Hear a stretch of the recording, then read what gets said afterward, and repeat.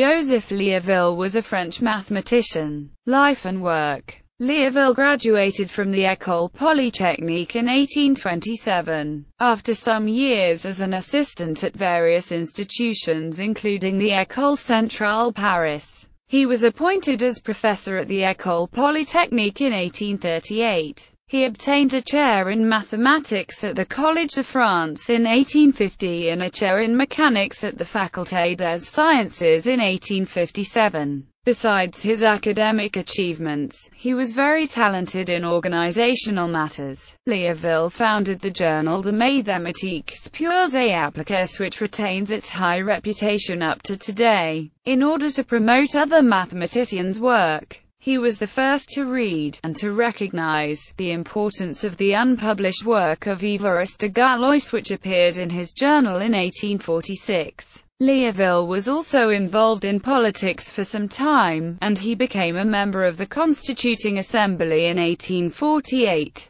However, after his defeat in the legislative elections in 1849, he turned away from politics. Liouville worked in a number of different fields in mathematics, including number theory, complex analysis, differential geometry and topology, but also mathematical physics and even astronomy. He is remembered particularly for Liouville's theorem, a nowadays rather basic result in complex analysis. In number theory, he was the first to prove the existence of transcendental numbers by a construction using continued fractions. In mathematical physics, Liouville made two fundamental contributions. The Sturm-Liouville theory, which was joint work with Charles-François Sturm, and is now a standard procedure to solve certain types of integral equations by developing into eigenfunctions, and the fact that time evolution is measure preserving for a Hamiltonian system. In Hamiltonian dynamics, Liouville also introduced the notion of action angle variables as a description of completely integrable systems.